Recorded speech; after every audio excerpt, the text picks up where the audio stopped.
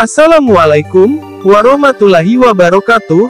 Sobat Kicau kembali lagi di channel ini. Di mana pun kalian berada, semoga tetap sehat, dimudahkan segala urusannya, dilancarkan rezekinya. Amin ya rabbal alamin.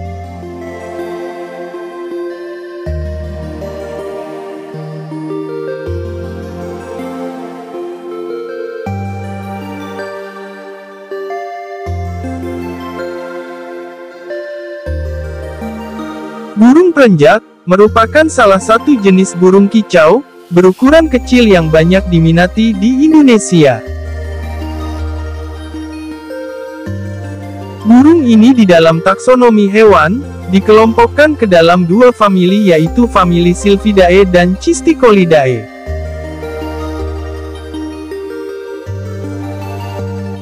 Kedua famili itu memiliki banyak kesamaan, di antaranya adalah sebagai berikut.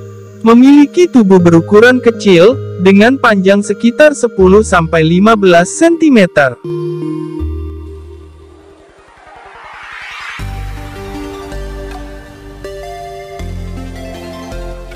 Tubuhnya ramping dan berekor panjang. Memiliki suara yang nyaring dan sering kali berkicau secara tiba-tiba. Dan hidup berkelompok. Di Indonesia terdapat lima jenis spesies burung perenjak, yang masing-masing memiliki keunikan dan karakteristik tersendiri.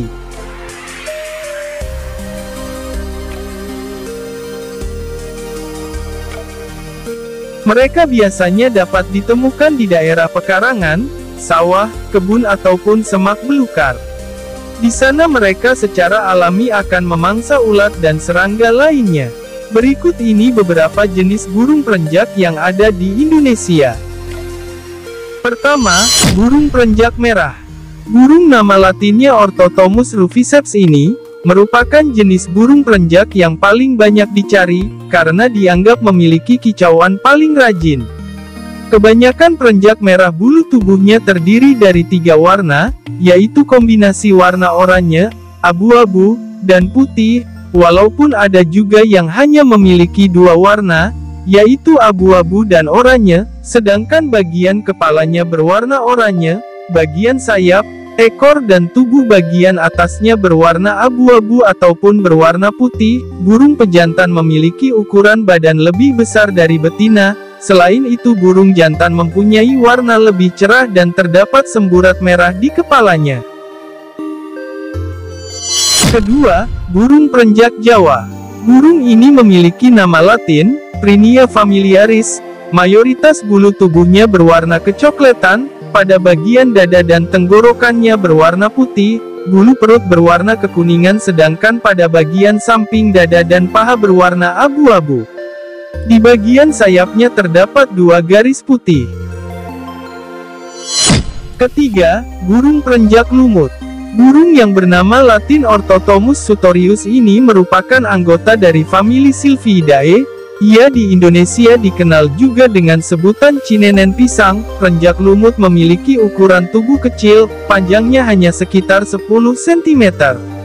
Bulu kepalanya hanya memiliki tiga warna, pada bagian dahinya berwarna kemerahan, pada bagian samping dan bawah kepala berwarna abu-abu dan bulu alisnya berwarna kuning, pada bagian bawah tubuhnya berwarna putih dan tengkuknya abu-abu. Bulu pada bagian punggung, sayap, dan ekornya berwarna hijau lumut, hal itulah burung ini disebut perenjak lumut. Keempat, burung perenjak coklat. Burung yang bernama latin Prinia polycroa ini sering kita kira perenjak padi atau perenjak Jawa, hal itu dikarenakan ketiganya memiliki warna dasar yang sama yaitu kecoklatan. Burung perenjak coklat memiliki tubuh besar dibandingkan jenis burung perenjak lainnya, yaitu panjangnya 15 cm, mayoritas tubuhnya berwarna coklat, dengan sedikit corak berupa coretan atau bintik yang berwarna hitam, Ekornya panjang dan di bagian ujungnya berwarna putih. Burung ini sangat mirip dengan perenjak padi, perbedaan keduanya adalah warna perenjak coklat bulu bagian punggungnya lebih tua, selain itu jumlah coretan pada perenjak coklat lebih banyak daripada perenjak padi. Kelima, burung perenjak padi. Burung ini memiliki nama latin Prinia inornata, ia merupakan salah satu famili Cistiklidae. Burung ini banyak ditemukan di daerah rawa-rawa dan persawahan, ia memiliki ukuran tubuh dengan panjang 15 cm, hal ini membuatnya menjadi salah satu burung perenjak terbesar. Burung ini memiliki paruh yang berwarna coklat pada bagian atasnya dan kemerahan bagian bawahnya.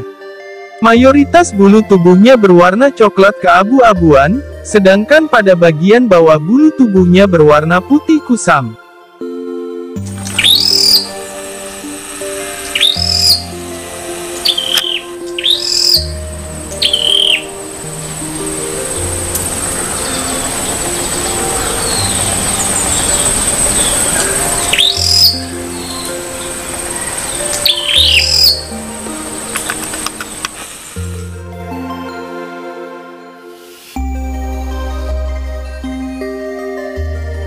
Sobat Kicau, itulah tadi beberapa ciri dan jenis burung perenjak yang ada di Indonesia.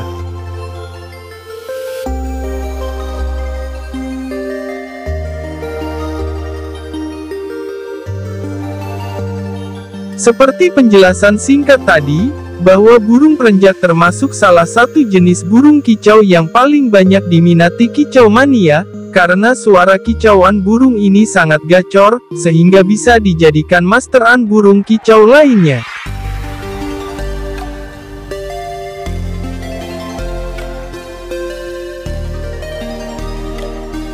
Sekian penjelasan sikat, jenis dan ciri-ciri burung perenjak yang ada di Indonesia.